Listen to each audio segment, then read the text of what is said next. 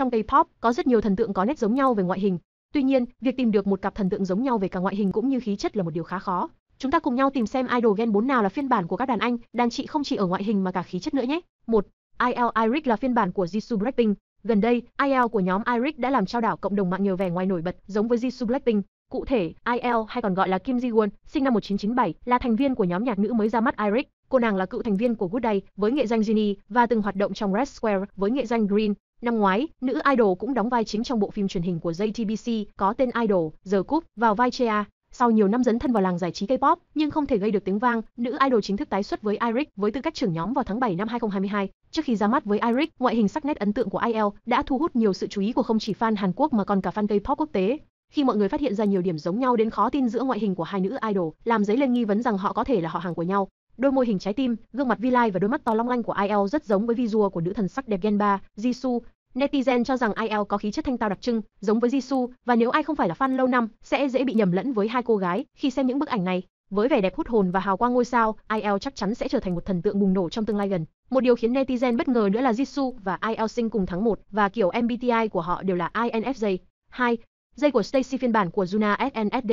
Ngay từ khi mới ra mắt, dây đã thu hút sự chú ý với vẻ đẹp quyến rũ và ngoại hình tươi tắn. Vẻ ngoài của nữ idol thậm chí còn được coi là sự kết hợp hoàn hảo giữa dâu và Kristan. Tuy nhiên, một cuộc tranh luận gần đây đã nổ ra khi một số cây nét nhận thấy rằng dây trông rất giống Juna SNSD vì cả hai đều sở hữu những đường nét khuôn mặt hài hòa, thanh tú như nhau, mắt to, môi mỏng, mặt dài và cổ cao. Dây thậm chí còn được đặt biệt danh là em gái Juna hay tiểu Juna vì nhiều netizen cho rằng khi nhìn thấy nữ idol thì liên tưởng ngay đến center của SNSD.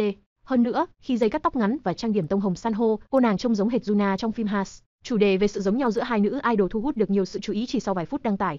Những điểm tương đồng còn giống đến nỗi họ có những đặc điểm ngoại hình chung từ những ngày đầu ra mắt. Vào thời điểm đó, cả Runa và Jay đều ưa chuộng kiểu tóc dài ngang lưng với lối trang điểm nhẹ nhàng, hoàn toàn phù hợp với hình ảnh nữ sinh mà họ theo đuổi hồi đó. Hơn nữa, các fan K-pop lâu năm còn phát hiện ra một sự thật đáng ngạc nhiên khác, đó là cả hai nữ idol đều debut khi còn rất trẻ. Juna 18 tuổi khi ra mắt và Jay 17 tuổi. 3. Ninh Ninh phiên bản của Jennie, Blackpink. Ninh Ninh hiện đang là một trong những idol Gen 4 hot nhất hiện nay, nhờ vẻ ngoài thu hút và giọng hát hay. Từ những ngày đầu debut cùng aespa, Ninh Ninh đã trở thành tâm điểm chú ý vì visual có nhiều nét tương đồng với đàn chị Jennie, Blackpink, đôi mắt mèo to tròn, sắc sảo và đôi má bầu bĩnh cùng với thần thái cuồng ngầu, sang chảnh chính là đặc điểm khiến em út nhóm aespa trông cực giống Jennie. Cả hai cô nàng đều sở hữu khí chất có thể cân mọi phong cách từ sang chảnh, kiêu kỳ đến dễ thương, ngây thơ và sở hữu cả gu thời trang cực kỳ ấn tượng. Thêm vào đó, không chỉ giống nhau về mặt ngoại hình, xuất thân của hai cô nàng cũng có sự tương đồng không kém. Jennie được cho là bước ra từ một gia đình tài phiệt khi mẹ ruột là CEO và cổ đông của tập đoàn lớn Hàn Quốc CJ E&M. Trong khi đó, có nhiều tin đồn cho thấy Ninh Ninh cũng xuất thân từ một gia đình giàu có ở Cáp Nhĩ Tân, Trung Quốc. Có lẽ vì lý do đó mà cả Jennie và Ninh Ninh đều sở hữu khí chất sang chảnh từ trong trứng nước. 4. Kasuha, Lesera phim phiên bản của Suzy. Kể từ khi Lesera phim ra mắt vào tháng 5 năm 2022, đã tốn rất nhiều giấy mực được đổ dồn về nhóm nhạc nữ mới nhà Hibe. Mặc dù cư dân mạng đã thể hiện sự quan tâm của họ đến tất cả các thành viên, nhưng có vẻ như Kasuha vẫn là người được chú ý nhiều nhất trong thời gian gần đây. Lý do chính cho sự nổi tiếng đó, không chỉ đến từ lai lịch không phải dạng vừa của cô nàng, mà ngoại hình của Kasuha còn khá giống với tình đầu quốc dân Suzy. Nhiều phương tiện truyền thông đã vô cùng hào hứng khi teaser hình ảnh đầu tiên của Kasuha được tung ra và đưa tin rằng ngoại hình của nữ idol có rất nhiều điểm giống với Suzy từ đường nét khuôn mặt đến khí chất nghệ sĩ, vì cả hai đều có khuôn mặt đẹp thuần khiết với đôi mắt dịu dàng, nụ cười thanh thoát, làn da sáng, khí chất ngây thơ nhưng cao quý khó tả. Nên thoạt nhìn, nhiều người cho rằng họ tưởng hai người là chị em ruột. Ngoài ngoại hình nổi bật, Kasuha và Suzy còn có tỷ lệ cơ thể hoàn hảo và chiều cao ấn tượng. Đối với Suzy là 1m68 và Kasuha là 1m7.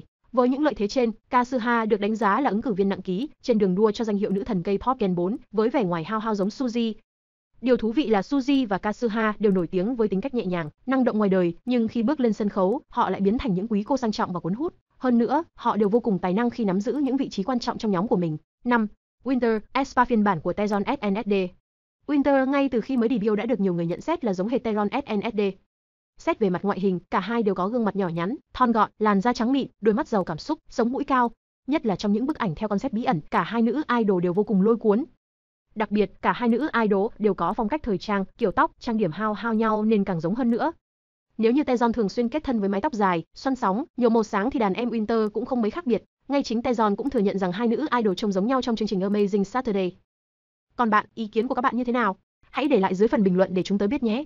Ngoài ra, các bạn nhớ like và subscribe kênh K-pop Channel để biết thêm nhiều nội dung thú vị. Cảm ơn các bạn đã xem hết video.